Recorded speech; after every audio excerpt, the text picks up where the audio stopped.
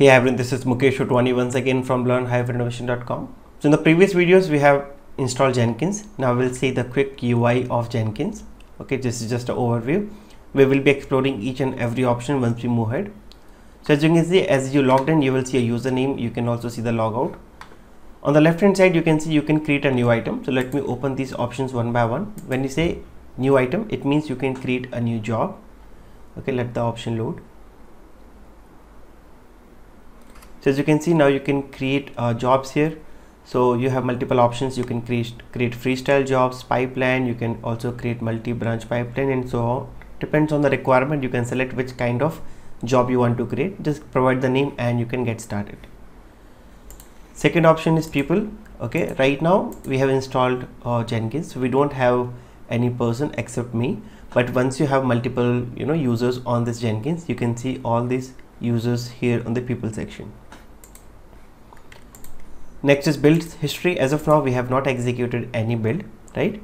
So once you have multiple builds running on this jenkins you will see all the build history on this particular section. Right now we haven't even started a single build so it's totally blank as of now. Now this is the main important point which is manage jenkins okay? Uh, as of now we have not configured jenkins but whatever configuration you have to do you have to do from manage jenkins as of now you can see we have four sections. One is system configuration second is security third is status information and troubleshooting and finally tools and action. So i guess totally five and these are the main options okay? So first option is whenever you have to make any global settings you have to add some path you can do it here.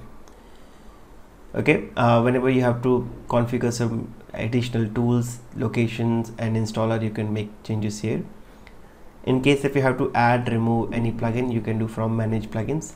And whenever you have to add any node or I will say slaves right you can do it from here. So via this action you can also set up the agents in the cloud as well.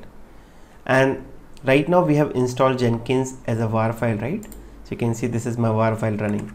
So the moment I stop this war file this Jenkins will be down. But suppose if I want to install Jenkins as a service I have this option. So the moment I restart my system or this machine boots Jenkins will be up and running.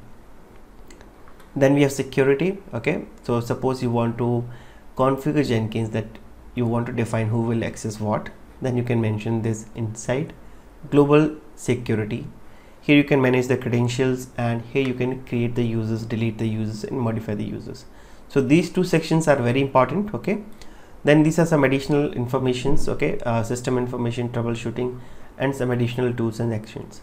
Now again I use Jenkins CLI most of the time okay? So I will show you in upcoming videos how we can access this. And whenever you have to execute any you know Groovy script or some additional script for admin task or for some troubleshooting you can give it here.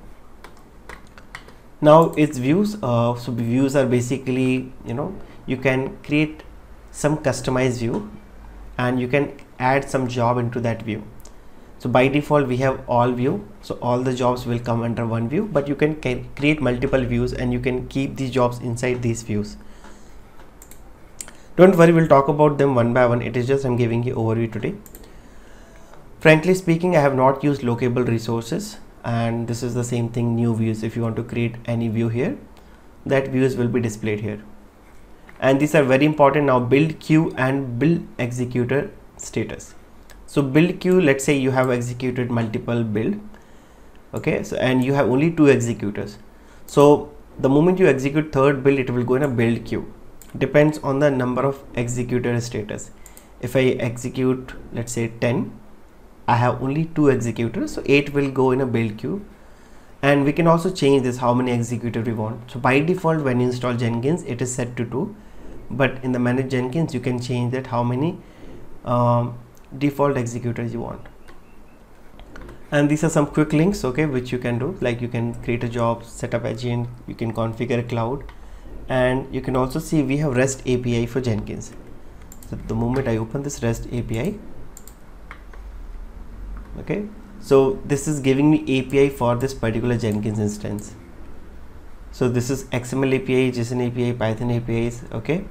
And you can create a job copy job you build queue load statistics and restart jenkins. So this is some uh, Jenkins API available okay? So whenever you have to import and export some Jenkins job you want to take backup you can do it from Jenkins API as well. So don't worry once we move ahead we will use these options. We will try to create a simple project Maven project pipeline multi-branch pipeline and we will be using these options. Okay so that's a quick video about the Jenkins UI okay so be comfortable explore these options and I will see you in the next video. So in case if you're new to this channel then make sure you subscribe this channel share with your friends and if you find any issue let me know in the comment section. Have a nice day. Bye bye